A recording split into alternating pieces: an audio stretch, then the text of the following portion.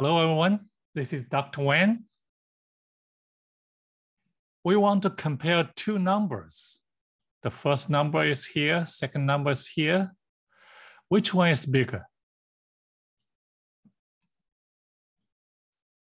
If we can use the binomial formula, this problem will be very easy. What is binomial formula? x plus y to the power n equals this. What is this?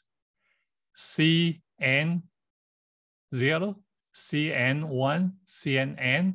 This is a combination number from n pick 0, from n pick 1, from n pick n.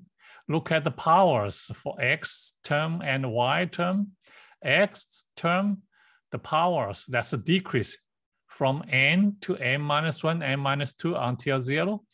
The powers for y term, that's increasing from 0 to 1 to n. This is the binomial formula. Now look at our question. We convert our number into this format so that we can use the binomial formula. So 1.01 equals 1 plus 0.001. So 1 is our x, 0.01 is our y, 500 is our n. Plug into this formula. Now here, the first number is C 500, pick zero, which is one whatever here number is, if here's zero, it's always one. X is one to the power n 500, that's one to the power of 500, which is one. Y is 0.01 to the power zero. Anything here, if it's not zero, positive to the power zero is one. So one times one times one is one. So first part is one. Second part, look at here. the combination number from 500 pick one, which is 500. And one to the power n minus one, that's 499. It is one again. 0.0 1 to the power 1 is 0.01.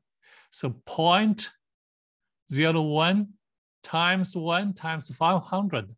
The second item is 5 plus remaining part. Remaining part should be positive because both x and y are positive. So here, first part is one, second part is five, all remaining part that's bigger than zero. So one plus five is six, six plus, plus something more. So the left-hand side is bigger than six. We have done the proof, right? Unfortunately, this problem is for high middle school student. So this method doesn't work for middle school math. We need to think a different way to solve this problem so that the middle school student can do it. Let's consider a simple factor. the ratio of two consecutive number, n plus one, n minus one. So the two numbers, the difference is one. So we call consecutive numbers. The ratio of two consecutive numbers equals n divided by n is one, one over n is one over n. So here, look at the second part. First part is fixed. Second part, when n is increased bigger, so 1 over n is smaller. So that means when n is increasing, the ratio is decreasing. So here, this is decreasing in n. For example, 101 over 100, two numbers are consecutive both numerator and denominator increase by one, you can see the two consecutive number, 102, 101, because that's decreasing. So this is decreasing. Uh, both numerator denominator plus one again, that's decreasing, decreasing, decreasing. So the last items, that's 600 over 599. The difference, that's what? That's one. So the two consecutive number. We will use this to derive our result. Now look at this. 1.01 to the power of 500 equals 101 over 100 to the power 500. Inside the part, they equal. So here, this is a 500 product of same item, 101 divided by 100. So here, that's 500 items in this product.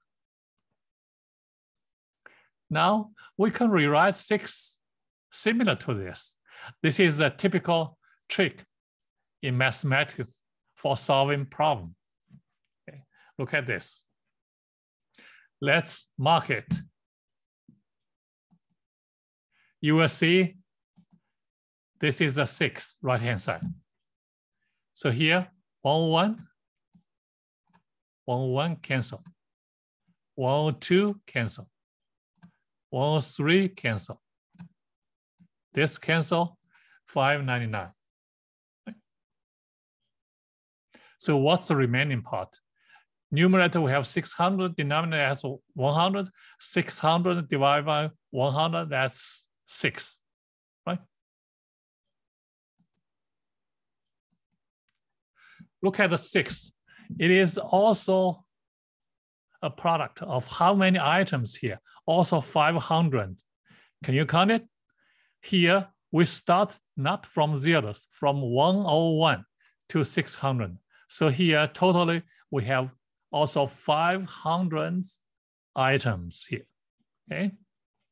Now, use the previous page result. Let's mark it.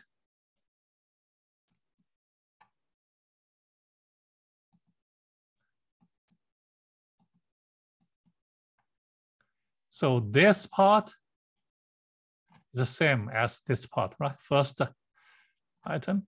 Okay, we are comparing one by one. Okay, this is the ratio of two consecutive number.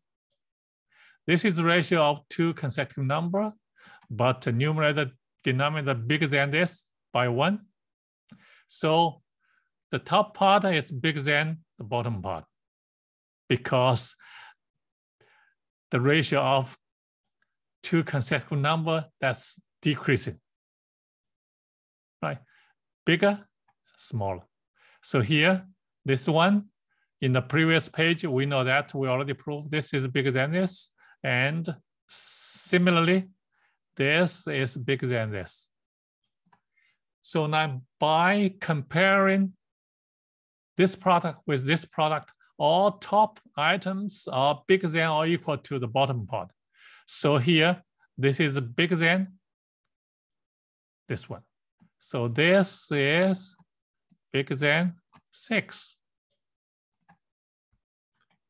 This is our result. 1.01 to the power 500 is bigger than six. That's all. Thanks for watching. See you next time.